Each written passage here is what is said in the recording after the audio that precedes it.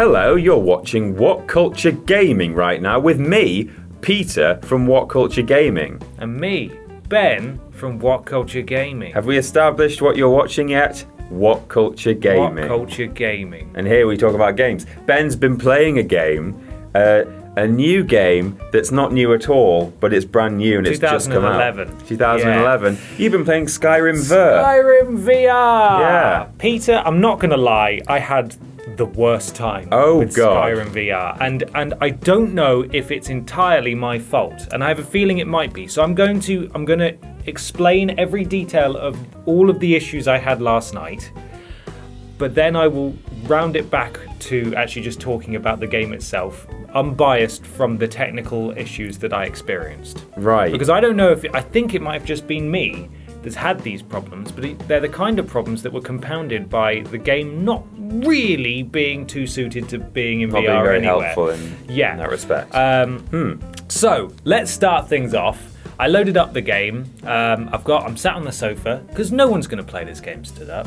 I'm sat on the sofa. You can play with the move controllers, uh, but if you use that, you have to teleport rather than actually walk. You have to just pick a spot and go. I'm going to teleport to here and do that. Really? So no one's going to do that. So I was playing with the DualShock, right? right. Uh, Fucking hell. and I I loaded it up. The main menu for some reason was here. So I was like, what? So I'm sat on the sofa. I'm having to I'm having to look at the menu there. By your French doors. and I, by my French doors Yeah. that open out onto the veranda. Is that a thing? What's a veranda? Uh, Sounds like something that. Yeah, I mean, you've got like a, a nice two inch balcony out of those doors, haven't you? Yeah, yeah, yeah, a little bit. I mean, you could fall You if could, you were yeah. really thin. Yeah. Anyway, so the menu's here, and and I'm having real problems with it because I've got lo- loads of wires Yeah. coming out the back of my head. It is like it's like being a Borg And or I'm like, something, isn't it? yeah. So I'm like, okay, I'm looking over here now to see the menu. Um, I click on it and I start the game, and immediately it's a bit wonky. Because You're on I'm, horse I'm on. I'm, carriage. I'm in the cart. I look down, and I'm about a few feet away from where I should be sitting, and I can't hear anyone. I'm, I'm looking at them and they're so quiet. So I go into the settings, I put voice all the way up to max, lower everything else down. I keep the master volume up, Hmm. lower everything else down, and then turn up the volume overall so I can hear them. And it's still really quiet. hey, And I- horse thief. and I can't, I can't work it out. Yeah. I can't work out what's going on. Then I turn my, my head around because at this point I had the default controls for turning on DualShock are sort of the ones that a lot of people have experienced where it snaps. Oh, right, yeah. Like that. in you Resident can change Evil. it to smooth. Yeah. Which I then did change it to eventually. Right. But I was I was rotating on the spot and and when I was practically facing the wrong way, it was really loud. I could hear what they were saying. And then when I faced them, they were going What are you here for? And I turned around, What are you here for? And Watch your tongue. That's King Ulfric Stormcloak. That's Ulfric Stormcloak.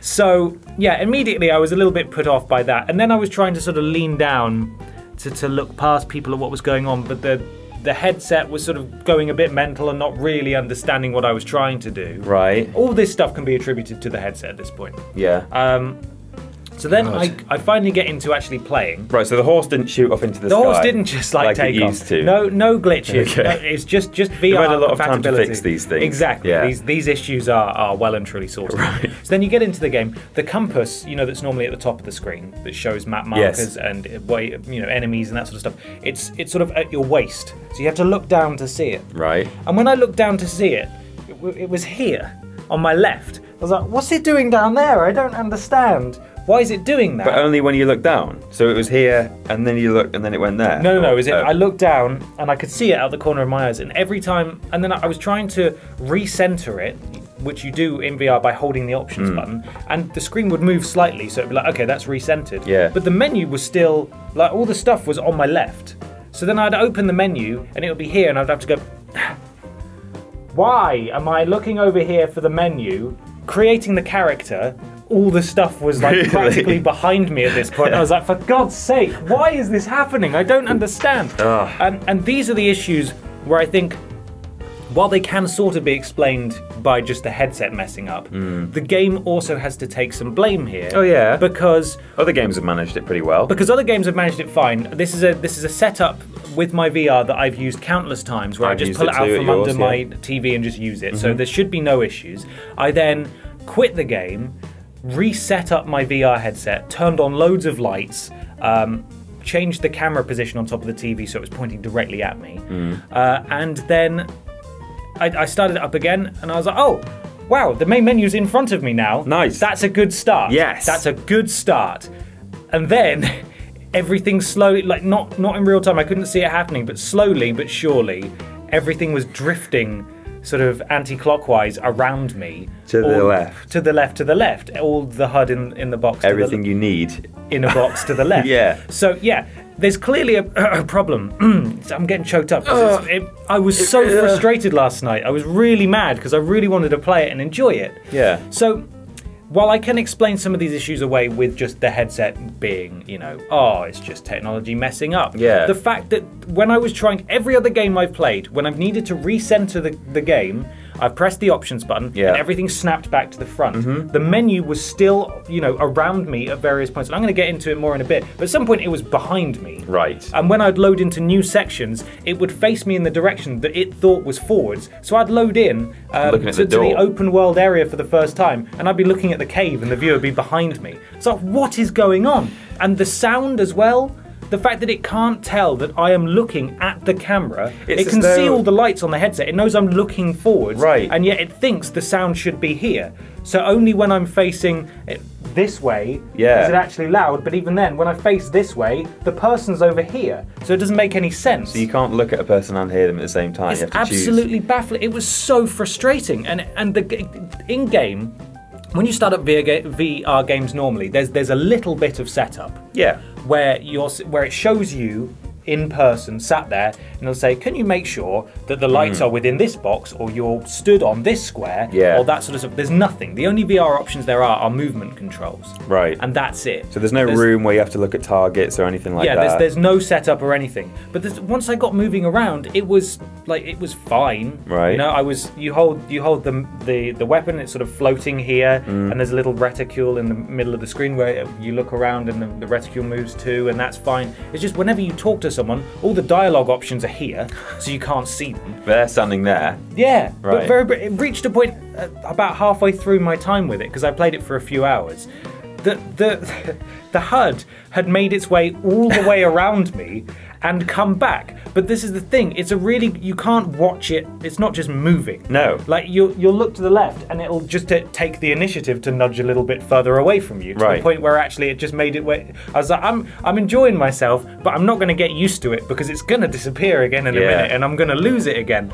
Um, so yeah, that was really annoying. I'm just going through all the notes because I made loads of notes here. Um, towards the end of my time with it last night, my weapon was just right in the middle of the camera, so I couldn't see past it. Um, Just walking around like this. yeah, The Dragonborn. I am the Dragonborn. exactly. Fus Ro Dah. So yeah, there's that. Right. And also going back to the the bit at the start when I'm in the carriage and I'm trying to look down, but it's not really. What you know, it doesn't really understand. that Yeah, and you're actually I sat slightly to peer the right. because it. Yeah, but I'm I'm sat off center for for a start for some reason. Yeah. Um, and then when I peer around, it doesn't really peer peer around at all. I think it's because it thinks I'm facing this way when actually I'm sat this way. Hmm. So then when I'm peering around, it doesn't really understand the orientation I'm trying to do. Yeah. So it just sort of bobs down. At no point was I able to properly like peer down and Oh, around. That's part of and- the whole thing, isn't it? It's part of the immersion. Yeah. And and that was that was really lost, which was really annoying. I will read what I put here. Um, with all these issues, the opening section was a nightmare. Yeah. There was there was no walking between the various bits of dialogue and, and sort of animation to start things off. It just faded to black and then you were in the next place. Really? And then with everything orientated the wrong way, I couldn't hear anyone. Mm. I couldn't see any of the HUD. Uh, when you get put down on the chopping block, Yeah. if the chopping block's here, and the guy's head who's just been chopped off is here, I was facing this way for some reason. I was just looking up at the executioner. so they were going to and I- slice your head in two. Exactly. Like I, I looked to my right, and there was the. Th- I was like, what? Which direction am I facing? I don't understand. This doesn't make sense. You're supposed to see the dragon over the shoulder of the executioner, And and, you were probably think- looking like over there. somewhere. Exactly. I could see the dragon. I was looking right up at him. I was like, this shouldn't be right. Right. This there there are limits to what is the headset's problem and what is the oh, game's Oh, yeah, problem. yeah. I think fundamentally, I haven't seen anyone else with these issues. So again, this may all just be me, but But this game before. is clearly I've been fine before, and this game is clearly just not well tuned Hmm. for for virtual reality. Yeah. Um, moving on, use use the right stick to turn, obviously. Yeah. Um, but I was still getting used to uh, not having to press up and down to look up and down. Just use your head instead. oh yeah. Fun fact: when you press up on the right stick, it snaps you facing the way it thinks is forwards. So every so often, I'd be walking up some stairs and I'd, I'd press up to look up instinctively, and I'd go whoop and just face exactly the way I'd come from. Sake. And that just completely disorientated me, Ah. uh, which was annoying. However, moving on, Yeah. there's a great sense of scale. When you're walking around in VR, I know it's that you, you're barely containing laughter, Peter, but there are good things. Right. Right, because I don't want to just slam this game because I really wanted to try it. I be love honest, Skyrim. yeah. I like virtual reality. I bought a headset for God's sake. you know? when you said yesterday that you were going to go home and play it, I thought, oh, I'm actually a bit jealous. Bit jealous. Swinging the sword. Do you swing the sword with the motion in the controller, or With, no, Oh, no, you just use the normal. If you have would, the if you had a move control, you would have done. Yeah, okay. yeah, if you have I mean, that sounds interesting. And you know, the Skyrim world is pretty cool. I do prefer the Oblivion world because I'm not Yeah. one for snow. Yeah, Uh, I, I love Oblivion. It looks like you'd just be wandering around quite depressed and cold if you were really there in, Mm-hmm. in Skyrim. But um, you know, it's still very beautiful, well made, alive. Mm. You know, all those random encounters. So yeah, no, I'm I'm willing to hear some good stuff. But Okay, so this this is actually I know we've been talking for a bit now, but I needed to get that stuff off Yeah, my of chest because I'd be remiss in my duty of reviewing this game in any capacity if I didn't mention the horror show that Mm. I had actually playing the game. So, putting all that stuff to one side, if we can,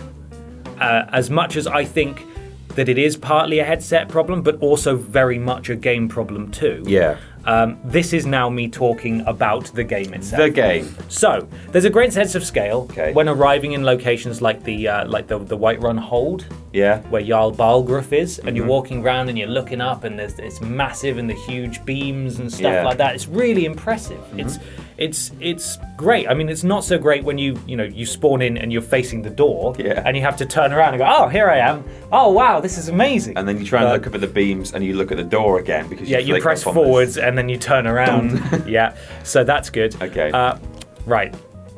Uh, this, I mean, it's it's Skyrim again. Yeah. It's practically unchanged. Right. Um, you just load it. It's the main menu.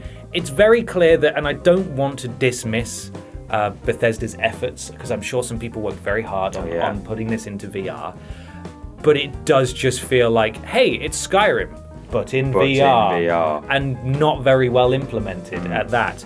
Um, so you you frequently miss key things, uh, like in the intro section, because everyone's so quiet, and you Yeah. can't really hear what they're saying, and the HUD is is is down at your waist anyway. So ignoring the problems that I had, if it's behind you, Yeah. it's down here, so you're not really looking down at all. Hmm. You you might hear someone say. Help! I need help, and you, you're like, "Oh God, I've got to look down to find Oh, out where the find where quest they is." now, and then you're looking around all over the place, and the sound design is all wonky Hmm. because it's louder that way, but you're not facing that It's like way. overly stereoscopic. right? Exactly, and the, the sound is quite tinny as well. Yeah. It's, it- they've really not done. I must say they've done a very bad job of of putting the sound into a 3D environment. Right. It's not very good, which is frustrating.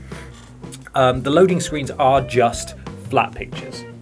Oh, So- really? So you know There's when nice you when you view yeah, there's rotating 3D things. models which you can just rotate with a thumbstick, but it's 2D spinning in what? place. Uh, the main menu as well. It's just it, much like when you put on the VR headset when you're on the PS4 menu. It's just a screen in front of you that you you look around and the screen Mm. Stays in place. It's it's that. How good would that have been though for a loading? Like I quite liked the loading screens in Skyrim, just looking at an object. Yeah. Just, but it would be even better if you have like you know the was in front dragon, and you. you could just like you know spin it round, have a look at it. Yeah, the menus are flat screens as well, Okay. um, which frequently can be penetrated by objects and people. So, although the menu screens were largely over here for some reason, Hmm. sometimes I'd press circle to open my menu and it would open up, and there'd just be a character model just halfway through it. Like, this is rubbish. How What- does that happen That's really 2D? annoying. That's really annoying. Um, so yeah, there's there's an immense amount of texture popping. in. Oh, so because the render distance probably isn't that great, Yeah. you're I'm not talking about textures just popping in on objects No, when you're the- right next to them, but like you'll be walking up a hill, for example, and 20 yards ahead of you, like some kind of god, foliage is spawning in as you walk towards it, just 20 yards away consistently, like bushes and things Hmm. Like the draw in. distance kind of thing. Yeah, exactly. Yeah, that sort of stuff, which is annoying.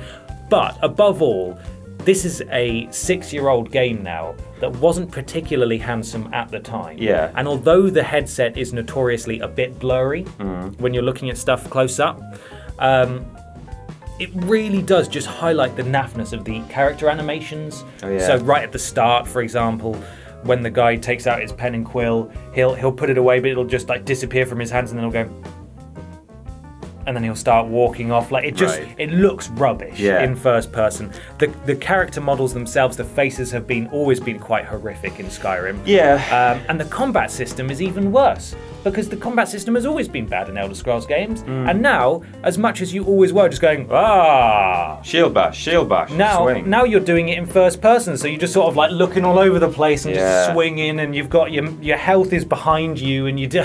It's just, it's just not suited for for virtual reality. At least the way that they've implemented it, it would need a total redesign.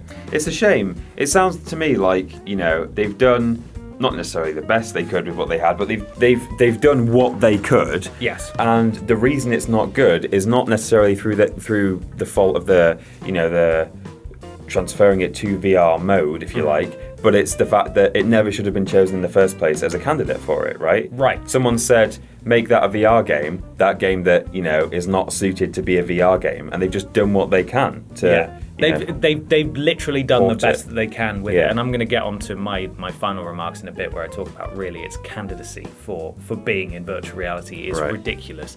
Um, major landmarks like you know the big mountain, Yeah. with the, with the shouty wizards at the top. Yeah, whatever. something something horn, I think it's Um, called. Or, It's just shrouded in fog. You can't see it. see. It's just it's just fog everywhere. It's like proper PS2 stuff. Right. Um, I honestly think the uh, pr- probably the, the Switch version is is far better than this in terms Right. of uh, being able to, you know, show off the game. that has motion controls, doesn't it? In the Uh, yeah, I think it does. combat, Yeah, with the. Joy Cons. Yeah. Um, and last, uh, lastly, the, the headset is just it's just not clear enough to read a lot of the HUD and the and the, the item descriptions and things, just because it's it's just it's just not suited for it. Yeah. Um, moving on to some facts for you. yeah, hot and fresh. It's forty nine ninety nine. Is it? It's forty nine ninety nine. Uh, it's available now. It does contain all the DLCs, but uh, that ties into the fact that this game should never have been in virtual reality because people do not want to wear a headset for more than two to three hours No. at a time. You just don't want to do it. And this game, as ridiculous as it sounds, it doesn't have a non VR mode to it. You can only play it in VR. It's not like, which is what they should have done if possible, and I don't want to undermine the efforts again that they've gone to to make it happen because this might not have been possible given their really wonky engine. Um, but it's it's not like they it's just an, a paid add-on for the Skyrim remaster, Right. which is what they should have done. Mm. Where you can right, okay, I've had enough of that in VR. Now I'm going to switch back to normal. Yeah. you've got to f- play this whole game in VR. Nobody is going to finish this in VR. No. no one's going to do it. God, small A experiences. whole Elder Scrolls game in VR. It's it's exhausting. Even the amount of time, you know, technical limitations and all that I had, I could not see myself playing this 100-hour game in virtual reality. That is not. People heard this announced and went, "Oh my god, that's amazing! I want to put Skyrim in VR." And I saw that and thought, right, okay. Firstly, it's Skyrim again. yeah. Um, and secondly, no, no one's going to want to play this. And now, having done it, no, nobody does. PlayStation VR and VR in general is perfect for smaller, tighter narrative Yeah. experience, like the Batman Arkham VR game. Yes. was absolutely perfect. It was the perfect length. It was very linear, but while you can do open worldish games on it, you're gonna have to re adjust your approach to it because if you just port a 2011 game it's not going to work very well and, I- it, and it just doesn't I really liked that um, that gangster thing in VR Worlds. Um, like yeah, the- they're doing a full game of that now. Yeah, they are Which will actually, be great because that'll be that? like six hours long. There'll be short missions. There'll be Yeah. tight linear narrative. An open world game like Skyrim just doesn't translate. Nobody is going to finish this, and it's such a shame because I love the idea of Skyrim in, in, in VR. And if they'd have just released like a, a £15 add on for Skyrim mm. Remaster, and again, I don't know if it would have been possible because their engine is so bad. Yeah, it probably took a lot just to get it working. Just to get it working, right. But other games do have a VR option mm. that you can just go, boop, oh, Yeah. we've detected a VR headset. Would you like to play it in VR for a bit? Mm. Like Resident, Resident Evil. Evil. Yeah, okay, I'll play it in VR for a bit Mm-hmm. now.